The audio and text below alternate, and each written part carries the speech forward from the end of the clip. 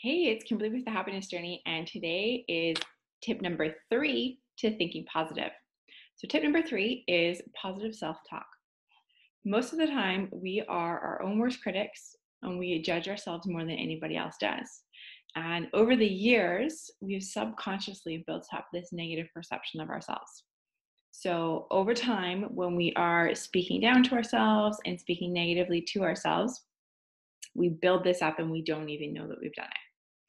So we want to change that and we want to speak to ourselves really positively. So when we speak to ourselves positively, we feel positive. And that doesn't have to be speaking to yourself out loud, that can be just speaking to yourself in your head. And I notice in other people, I can kind of get a judgment or a kind of not judgment, but like a sense of how they talk to themselves within the first few minutes of speaking to them based on what, how they're talking to me about themselves.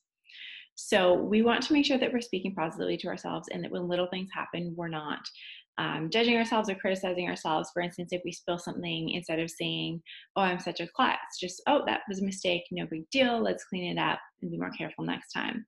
And not letting yourself kind of step into that like negative feeling.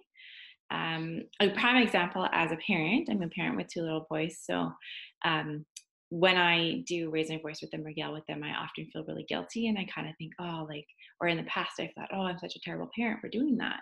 But realizing I'm a great parent, just maybe next time instead of yelling, I could walk over to them and separate them if they're fighting or walk over and get their attention and try to speak more calmly. So that's one thing that I'm working on. Another form of positive self talk is affirmations. So, affirmations are I am statements said in the present tense. So, for instance, I am an exceptional parent. And we can say these to ourselves daily or even just in our head throughout the day. I am a great employee. I am a great, you know, boyfriend, girlfriend, wife, husband, brother, sister, whatever it happens to be. Um, and I am great at whatever it is that you're working towards, things like that. So we want to make sure that we're speaking to ourselves and about ourselves the way that we want other people to treat us because when the, that's the perception that we want to give people is this is how i feel about myself and they're going to feel the same way about you as well.